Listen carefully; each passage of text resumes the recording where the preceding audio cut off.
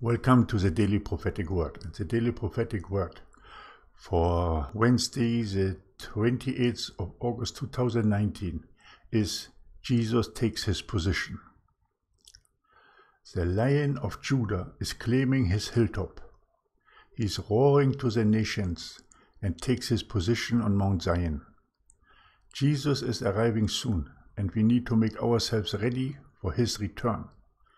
Trim your light and step into the path to meet him. Jesus takes his position. The lion is roaring from the hilltop. Can't you hear his voice? He is calling you out of the world onto his path towards eternal life.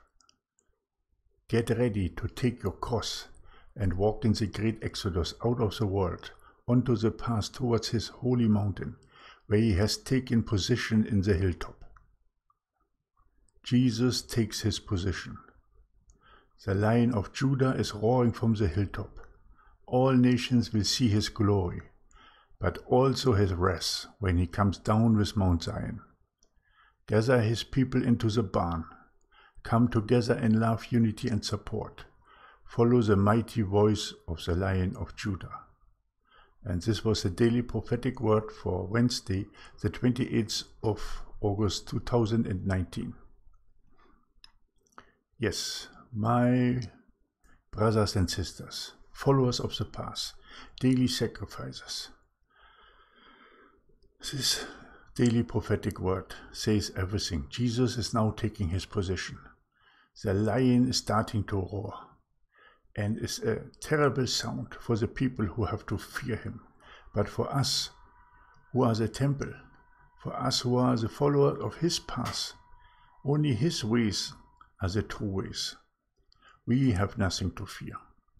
We are looking forward for this lion, because as you see in this image, like this small child who embraces roaring lion, it is the same with us. We will embrace Jesus Christ as our Lord, Savior, and King of the millennium. Our time has arrived. Our time has come.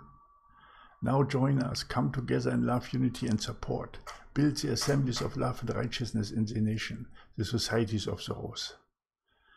So show the people, tell all the people that, that you have heard the roaring of the lion from the hilltop.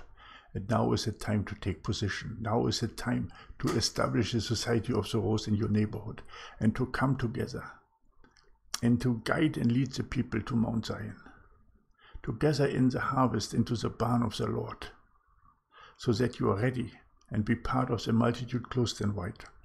It will be raptured at Mount Zion into paradise. Be ready. Forsake the world. Forsake your careers, your worldly things, your luxuries. Come forth onto the path in the great exodus, onto the path towards the holy mountain.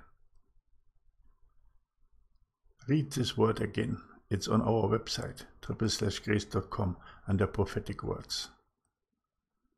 Become a member, it's free of charge. Watch all our videos in the YouTube channel.